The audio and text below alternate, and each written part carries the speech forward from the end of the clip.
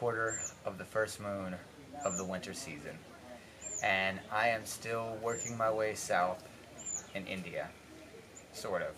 Not really working. I am practicing.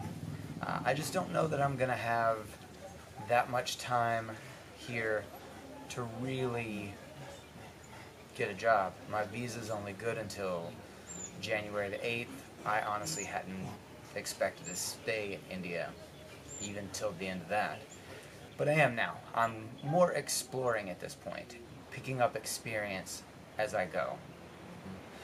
I was just in Benaulim, which is in Goa, with Nadine, and we practiced pretty much every afternoon um, around 4 o'clock. I would wake up in the mornings and I would do my pranayama, my meditation, my vinyasa, and then in the afternoons we would do acro.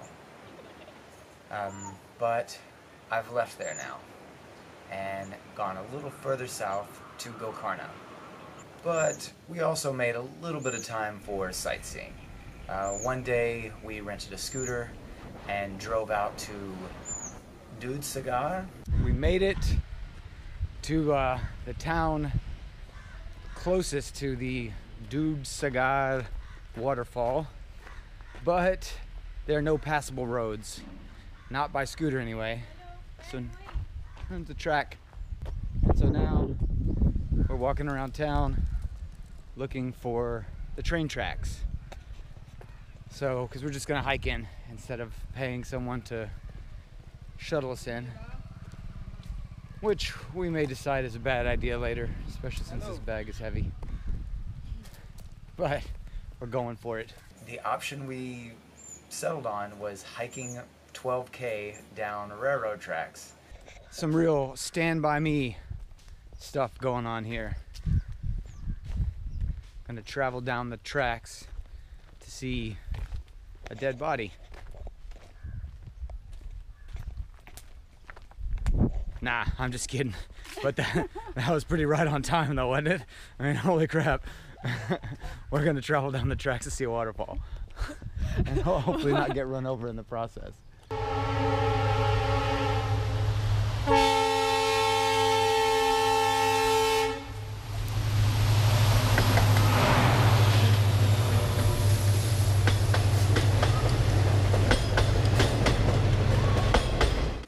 which was a great adventure.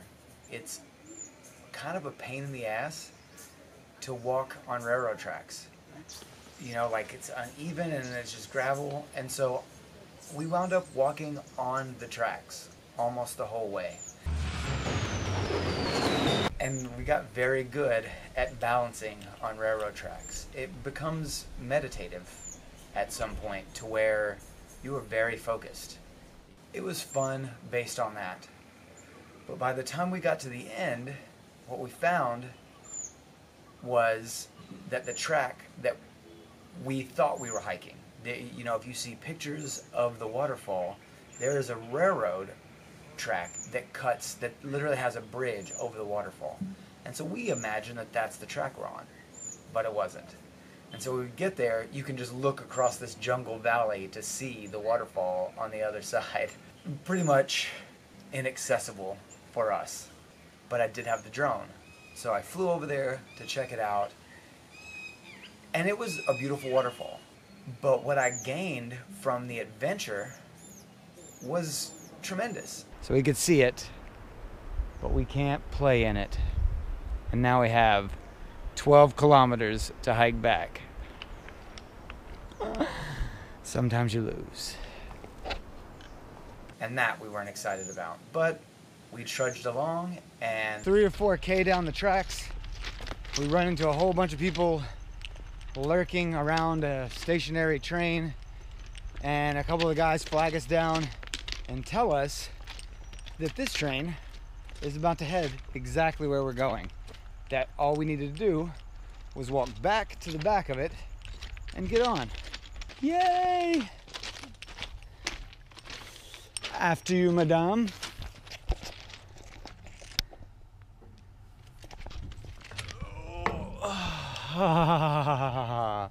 and we got on the train and hitchhiked all the way back into town.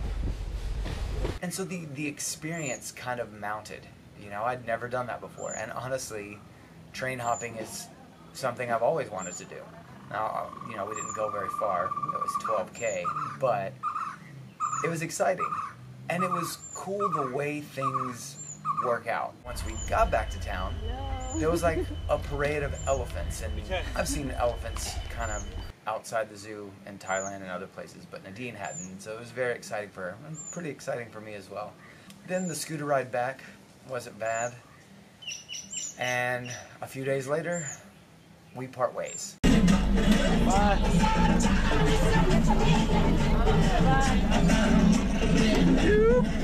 Train station, yeah? Yeah, yeah, this. Okay, thank you. Okay, welcome. Yeah, yeah.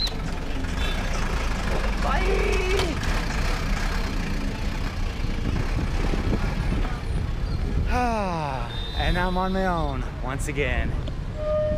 She went north, and I came to Gokarna here south. Hi. These are my new friends I met off the train. Where are you guys from? Israel. All of them. Israel and Arkansas.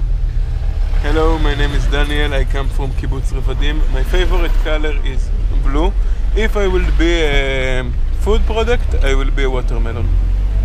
He's the most serious of the bunch. And when we got here, there was nothing.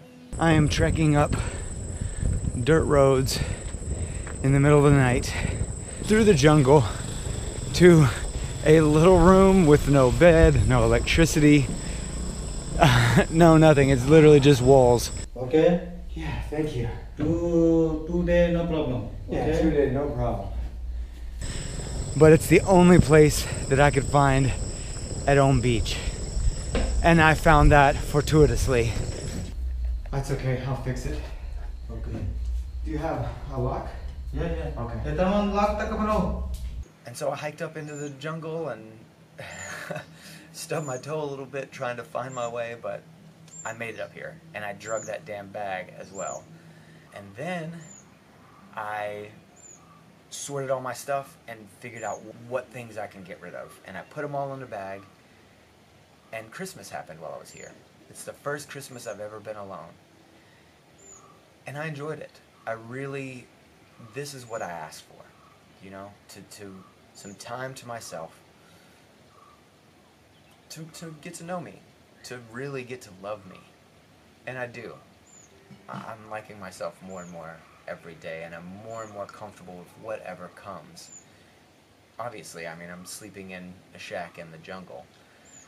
Uh, th- then, while walking back to kind of deliver the, the presents for Christmas, So did you guys find stuff that out of the bag? Merry Christmas. Thank you. Yeah, you're welcome. I got another. I got a present of my own. I've always wanted to see a cobra in the wild, but I was as I was walking, you know, through the little path, something moved in the bushes, like literally right by my foot, and I looked down, and it was a freaking cobra, and it's it just it didn't do anything. It just kind of and it could have bit the shit out of me. I mean, it was literally right next to me. And so it starts to like move off into the jungle, and I, I was a little scared to go after it. You know, I didn't want to get bit by a cobra. I, don't know how they behave, you know, honestly. But in the end, I decided to follow the snake into the into the woods, and I didn't get too close, and the shots aren't very good. But I did get close enough to, at one point, it kind of hissed up, and you could see the hood, and you could see the, the little emblem on the back of the hood. It was very exciting. And so that was my present. I like it here. It's a really beautiful beach. It's very peaceful. I think I'm going to stay here till the New Year's and possibly try and get at least one workshop someplace, even if I have to do it on the beach. Um, I have about a week. I think that's enough time for me to promote the workshop and hopefully get a couple of people together to take my learning to fly workshop. But for now, I'm gonna go catch sunset at the beach, and I'll see you guys next time. Bye.